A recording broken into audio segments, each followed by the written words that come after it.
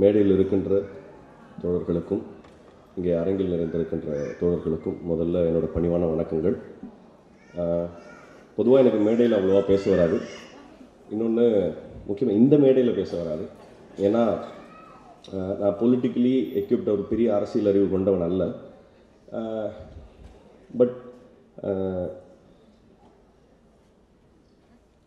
இன்னொன்று பேச வராததுக்கு இன்னொரு முக்கியமான காரணம் என்னென்னா இங்கே தோழர் கோவிந்தன் சொன்னது போல் அல்லது ராமகிருஷ்ணன் அவர்கள் தோ தோழர் சொன்னது போல் அவங்களுடைய நீண்ட நெடிய வரலாறை கேட்ட பிறகு நம்ம எவ்வளோ சின்னவனாக இருக்கிறோம் அப்படிங்கிறது மட்டும் விளங்கிக்க முடியுது.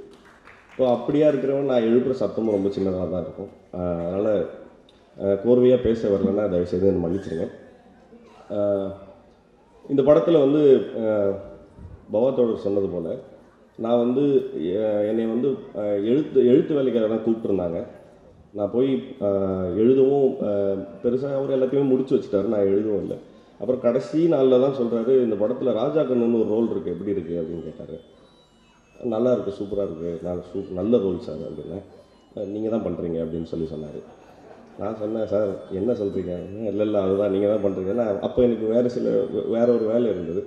பட் ஒரு கதையை அவர் முக்கியமாக அந்த கதையை நரேட் பண்ணி முடித்த சமயத்தில் கிளைமேக்ஸ் முடிக்கிறாரு. முடிச்சுட்டு வெளியில் வந்து டீ சாப்பிடலாம் வாங்கன்னு சொல்லி டீ சாப்பிட்டுட்டு என்ன எதுவுமே பேச மாட்டீங்க? அப்படின்னு கேட்டார்.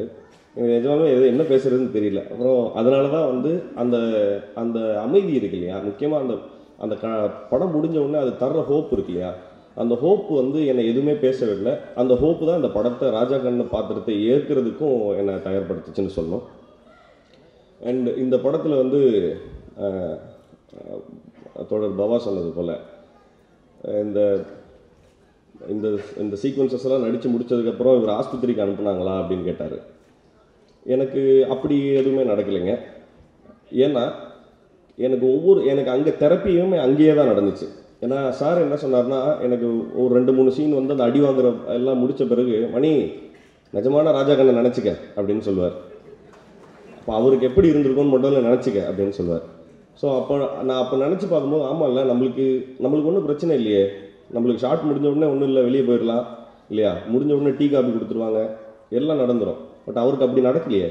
அப்போ நான் அப்படி அப்போ நான் அதை நினச்சி நினச்சி தான் நாங்கள் இது எல்லாத்தையும் இந்த- இந்த ஷூட்டே என்டையராக அப்படி தான் நடந்துச்சு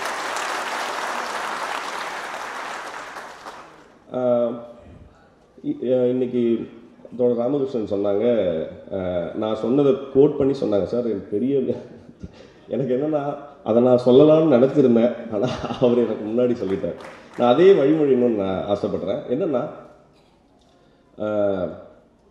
இதில் நடித்தோம் அவ்வளோதான் இல்லையா? ஒரு எழுபது நாள் இந்த படத்தை வந்து ஷூட் பண்ணி நடி ஷூட் பண்ணி வேலை செஞ்சோம் நடித்தோங்கிறதே வந்து இவ்வளோ கஷ்டமான டயரிங்கான இத்தனை பேட்டிகளுக்கு வந்து கண்டென்ட்டாக மாறுதுன்னா காலம் ஃபுல்லாக லைஃப் ஃபுல்லாக வந்து அவங்க இத்தனை இவ்வளோ அப்போ எவ்வளோ மன வலிமை இருக்கும் இவங்களுக்கு? எவ்வளோ மன உறுதி இருக்குன்றது மட்டும்தான் இதை மட்டும் தான் நான் கற்றுக்கணும்னு ஆசைப்பட்றேன்.